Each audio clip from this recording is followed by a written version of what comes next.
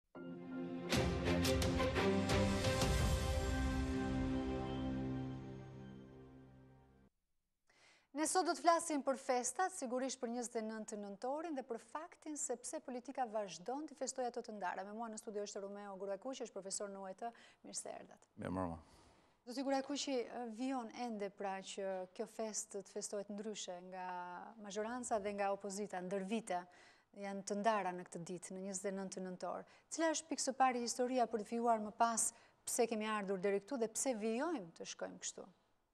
Mendoj që ka, ka, do të bëhen dy ndarje. Në radhë të parë duhet të ndahet data, diskutimi historik nga diskutimi politik. Ne vazhdojmë të jemi në këtë situatë për shkak të diskutimit politik të çështjes. Domethënë, e majta nuk ka arritur të njohë dy zhvillime shumë të rëndësishme. Pra nuk ka arritur të njohë edhe të ndajë luftën nacionalçlirimtare nga regjimi i terrorit që është vendosur krahas procesit të luftës dhe sidomos në momentin kur partizanët kanë arritur që të vendosen në zotërim të qyteteve kryesore.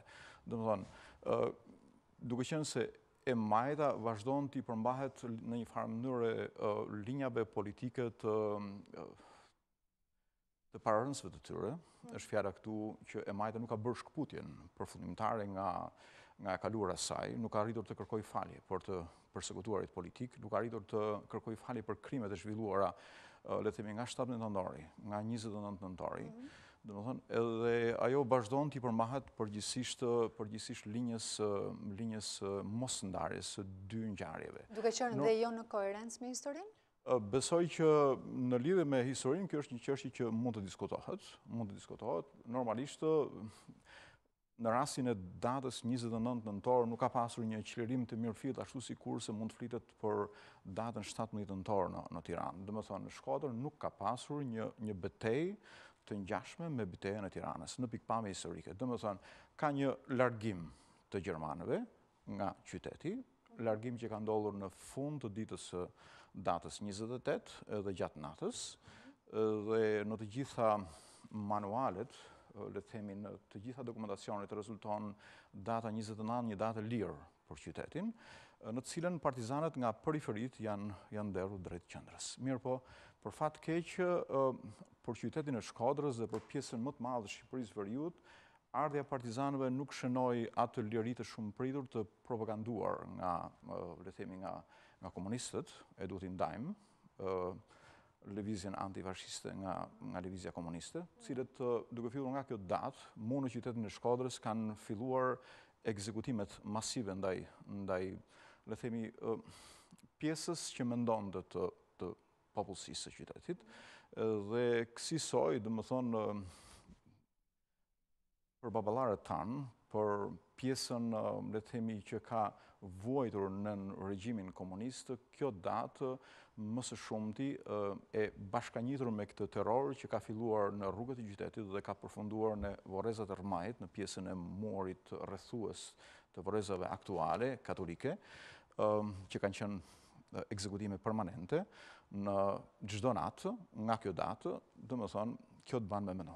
Domethënë, një e majtë, një e majtë e mirëfilltë europiane, ashtu sikurse pretendohet që të, që të jetë, mhm. do duhet të bëjë këtë diferencë, do duhet të shkëputet nga e kaluara, do duhet të kërkojë falje për krime të bëra nga diktatura, do duhet të shkëputet nga trashëgimia e Partisë së Punës së Shqipërisë, gjë që ato nuk e kanë bërë, nuk e kanë bërë. Dhe fakti që një pjesë e lidershipit aktual të Partisë Socialiste ka prejardhje nga kjo parti dhe i përmbahet linjave dhe paradigmave të historiografisë komuniste në lidhje me me luftën, me luftën. Dhe e djatha nuk ka asnjë prejardje? Do doja të thoja, do doja të thoja që e djatha në 25 vite nuk arriti dot të bëjë të bëjë në një farë mënyre studimin e thelluar të gjithë kësaj. Nuk krijoi, nuk arriti dot të krijojë krejt mirë kushtet për sendërtimin e një studimi të thelluar, janë 25 vite, ende nuk mhm. është bërë me përjashtim të studiuesve të huaj, të cilët kanë qenë të shkëputur nga në një farë mënyre nga, nga trashëgimia e vjetër, mhm. domethënë nuk kanë pasë asnjë lidhje, kuptohet, por kanë arritu të bëjnë studime të pavarura, Në Shqipëri nuk, për shkak të edhe situatës shqiptare, edhe për shkak të gjendjes financiare të sistemit shkencor në Shqipëri, nuk u arrit që të bëhen, le të themi, studime të thelluara në një masë që të mund ta vulosin definitivisht. Por ajo në fakt, ajo çfarë i ndan nuk është më shumë ngjarja, data, por mhm. në fakt përmbajtja e asaj çfarë fillon mas datës 28 nëntor 1944.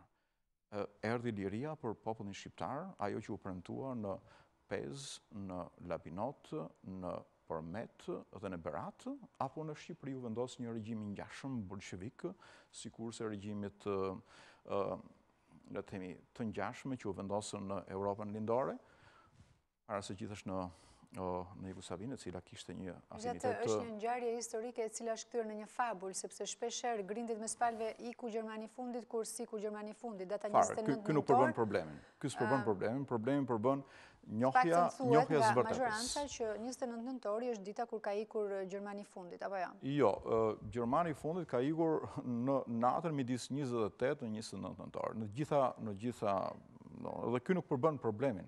nuk përbën problemin. Pra, e gjithë kjo, sipas teje, është ka një prapavi politike, ka interesa të ngushta në këtë mes, të cilat kanë çuar, domethënë në këtë pikë që mos... Domethënë, ato u ngutën për ta rikthyer me datën 28, mhm.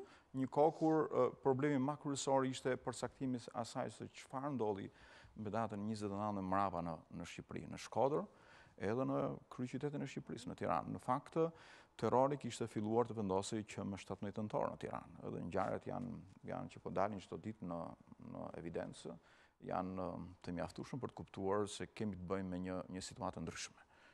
Nga ajo çfarë historiografia komuniste dhe një pjesë e atyre që po përpiqen ta mbajnë të mbërthyer zbulimet e së vërtetës në paradigmat e së djeshmës, kanë bërë që të dëmtohet ky proces. Edhe ngjarjet e ndoshta edhe edhe zhvillimet e diskutimit. Sa normale është që ne ndodhemi, le të themi pas më shumë se dy dekadash në këtë situatë, një komb i cili le të themi feston dy data për çlirimin e tij. Po është e lidhur me me të gjithë me të gjithë atë lidhur me 50 vite diktaturë. Domethënë, një pjesë e këtyre elementëve janë vendosur në, në 50 vite dhe ndërkohë në 25 vite të tjera nuk është bërë, nuk është bërë shndërrimi. drejt së vërtetës. Kombet e qytetëruara kanë arritur të bëjnë të bëjnë dallimin midis midis të djeshmës e cila të nderon edhe të djeshmës e cila nuk të nderon. Ne nuk kemi pasur mjaftueshëm forcën për shkak ndoshta të situatës së përgjithshme kulturore, sociale në Shqipëri për shkak të thellësisë së dhunës dhe të diktaturës që ka pasur ky vend, i cili e cila ka implikuar në një masë të madhe, një masë të madhe njerëzish, posaçërisht të të lidhur me forma të ndryshme me, me partinë dhe grupin politik që praktikisht drejton vendin në këtë moment, i cili në një farë mënyre, pavarësisht është i ngjashëm me, është i njëjti që ka, që ka drejtuar edhe në periudhën pararendëse, kam fjalën 97-2005, në pikëpamje të reflektimit, reflektimit është i ndryshëm nga udhëheqësia praktikisht që ka pasur në një farë mënyre me një lloj tolerance, të një lloj Gjithëpërfshirje të qeverisjes socialiste në periudhën 1997 deri në vitin 2005. Kjo është ka një përmbajtje krejt tjetër. Megjithatë, tregon kjo, le të themi, ju pak a shumë bëtë më shumë fajtore partinë socialiste duke lidur rrënjët e saj me sistemin diktatorial, por ndërkohë nga ana tjetër dhe partia demokratike ka përgjegjësitë e saj, apo jo? Në lidhje me çfarë? Në lidhje me faktin se në një farë mënyre sipas edhe shumë studimeve apo këndvështrimeve të ndryshme që ka dashur të distancohet nga sistemi, nga partia komuniste, ose më saktë menjëherë pas viteve nëntëdhjetë, mund ta ketë përdorur këtë që nuk ka pranuar këtë datë të çlirimit, për t'u distancuar me një distancë le të themi të ndjeshme, të prekshme nga ai sistem. Dhe ndërkohë mund të ketë përdorur këtë datë për të bërë këtë distancë, që nuk do të ishte edhe e drejtë. Në këndvështrimin tuaj, a është vërtet kjo klasë politike ende e pashkëputur nga e shkuara? Domethënë, defekti qëndron në kapjen pas një date. Ky mund të ishte defekti. Në fakt, do duhet të merret me përmbajtjen e problemit, me një proces të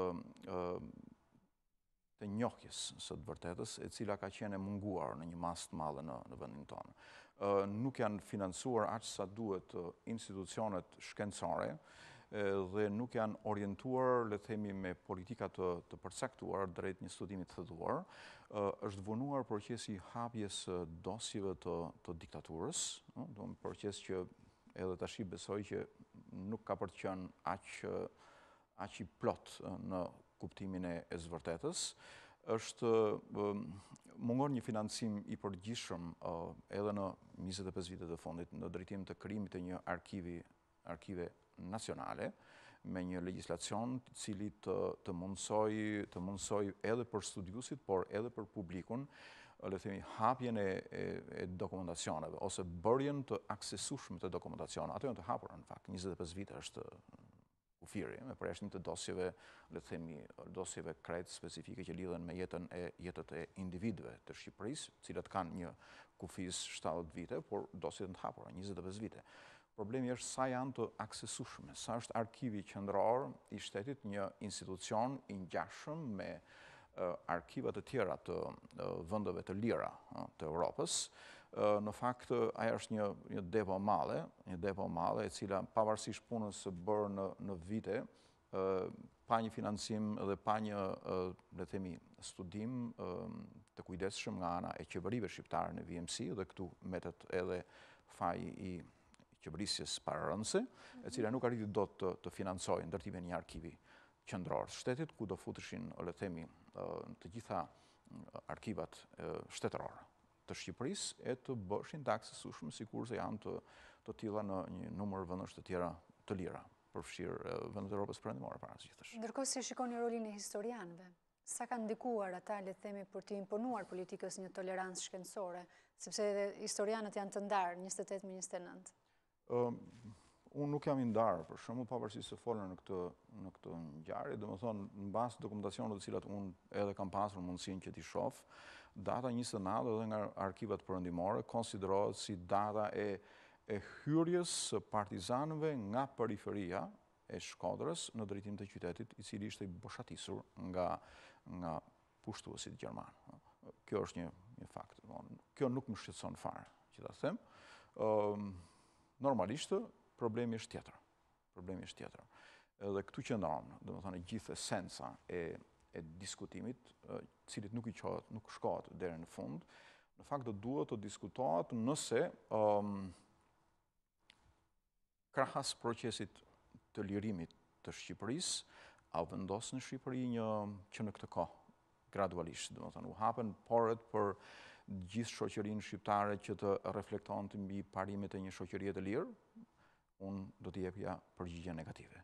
Janë të paaftë për të bërë mea culpën, janë të paaftë për të për t'u ndarë nga e djeshmja, janë të paaftë për të kuptuar se në këtë periudhë e mbrapa është ushtruar dhunë, terror mbi një pjesë të madhe të popullsisë, dhe unë vij nga një qytet i cili ka pësuar shumë, edhe një krahinë e cila ka pësuar shumë nën këtë regjim të terrorit, dhe në qytetin tim, kur diskutohet kjo gjë, nuk ka pasur mëdyshje edhe shumë kohë të tjera përpara, domethënë shumë përpara vitit 91, domethënë është një, është një, kemi dy formacione praktikisht edhe kulturore, edhe politike, edhe analitike mbi, mbi të shkuemen e, e Shqipërisë, edhe, edhe të ardhmen e vendit. Gjë që përbën një diferencë shumë të rëndësishme. Edhe kjo vjen për faktin... Nuk mund të, të ndalojnë, le të themi, historianët, politikën, të kërkojë gjermanin e fundit, diçka krejt skolastike, le të themi, dhe që e çon në faliment të drejtpërdrejtë historinë. Nuk kanë ata këtë potencë pra që të t'i vendosin politikës, le të themi, një, një histori, një fakt, i cili nuk ka pse të jetë i interpretueshëm nga palë, qofshin këto politike apo... Do të jetë një, do të jetë një zgjidhje që do vijë në në të ardhmen shumë të afërt. Domethënë, janë disa studiues të cilët po punojnë intensivisht në në këtë proces, janë duke kryer vepra, le të themi, që e përmbyllin gjithë diskutimin, jo vetëm për ngjarjen, e cila në këndvështrimin tim, sikurse unë e ceka edhe më përpara, nuk ka ndonjë rëndësi esenciale, por në në të gjithë përmajtjen, edhe i gjithë përmajtja e harkut kohor 39, 45, është një prerje shumë e thellë midis Shqipërisë pararëndëse dhe Shqipërisë që u krijua mrapa. Unë do ju bëja pyetjen, ku shkoi Shqipëria pararëndëse pas 29 nëntorit të vitit 1944? Ku janë themeluesit e shtetit shqiptar? ku janë ato që e ndërtuan Shqipërinë. Të gjithë ishin kolaboracionistë që nuk e donin atdheun e tyre, ku shkuan ato që themeluan dikasteret kryesore, ku shkuan themeluesit e Ministrisë së Arsimit të të Shqipërisë, të shtetit shqiptar. Të gjithë janë janë denigruar, janë fshirë nga historia, janë fshirë nga le të themi nga nga njohja e brezave që kanë ardhur mrapa, përfshirë edhe brezat brezat e sotëm. Pra, Njëzet e pesë vite nuk mjaftuan për ta rekuperuar këtë këtë prerje, këtë prerje e cila erdhi për shkak të të kësaj goditje politike dhe është një dëm shumë i madh që një pjesë e historianëve ende vazhdojnë të t'i përmbahen paradigmave dhe të tentojnë të frenojnë, jo më larg se dje e kanë bërë, e kanë bërë në një formë shumë shumë shumë brutale, shumë brutale, pa rëndësi emrat, por kanë tentuar ta bëjnë, kanë tentuar të bëjnë edhe kundër, kanë shprehur një lloj revolte ndaj hapjes së hapjes së dosjeve, edhe ndaj daljes në dritë të një një numri dokumentash të cilët janë të rëndësishëm për të kuptuar se si është operuar në këtë vend. Është operuar në mënyrë selektive, nëpërmjet denigrimit të një pjese të madhe të elitës shqiptare, mos me themi pjesës më të madhe, të gjithë elitës shqiptare dhe një pjesë e cila ka pasur të njëjtën gjendje, por është diferencuar për shkak të le të themi, për shkak të mbështetjeve politike që kanë pasur kryesisht nga faktorë të jashtëm, të cilët lidhen para së gjithash me me mbështetjen politike të Partisë Komuniste Jugosllave, e cila ka qenë në në në zotrim të gjërave në leadershipin i cili erdhi në pushtet në Shqipëri nga data 17 nëntor, në Tiranë, nga data njëzet e nëntë nëntor, dyzet e katër në Shkodër dhe në gjithë Shqipërinë. Një pyetje, le themi se po na përfundon dhe koha për nostalgjikët, të cilët festuan sot. Um, Sa përshëndetën edhe me grusht. Uh, ky është një është një problem. Domethënë varet se çfarë nostalgjikësh. Uh, bëhet fjalë për partizanët të cilët kanë luftuar për lirinë e Shqipërisë. Ëm um, kanë zhvilluar luftën antifashiste, ato do duhet të, të respektohen. Do duhet të respektohen, për shkak se ata kanë, kanë bashkëpunuar në një proces, le të themi, jo vetëm shqiptar, por mbarë europian në procesin e goditjes së, së fashizmit.